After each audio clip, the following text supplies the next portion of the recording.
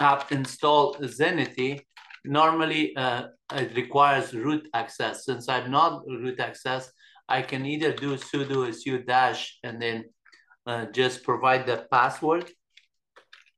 And then uh, once you provide the password, now your root ID here is root. So I could just say um, the same command without the sudo. Um, I don't have to type in sudo in front of my command.